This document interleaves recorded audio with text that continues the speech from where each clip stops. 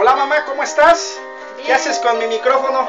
Ah, pues aquí estoy mandando saludos a todos mis sobrinos allá en Estados Unidos, que son divinos, chulos, hermosos, guapos. Saludos, muchos besos. Y también mi mamá quiere decirle unas A palabras Leti a a Leti, Enzo. a Edson, ¿verdad? Que estaban un poco tristes. ¿Qué les quieres decir a ellos? Pues que mamá? no se ponga triste, que Dios así lo decidió y Él sabe por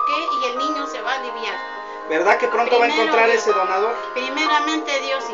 Eh, a mi prima también, que es hermana de Leti, a mi prima Lourdes, Sí, ¿verdad? Sí, también a todos, a todos para Mándale un saludo a mi, a mi prima Lourdes, mamá. Saludos, mija Lulú, aunque no te conozco ahorita de grande, hija, pero te cargué de chiquita.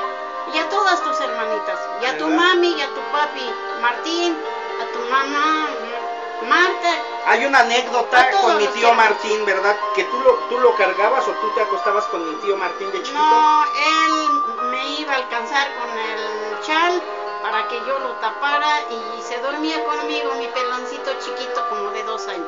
Muy bien, a mi tío. Agustín, También los quiero mucho a todos. ¿verdad? Mi tío Mario, ¿verdad? También, porque ellos los crié, como quien dice, de chiquitos. ¿verdad?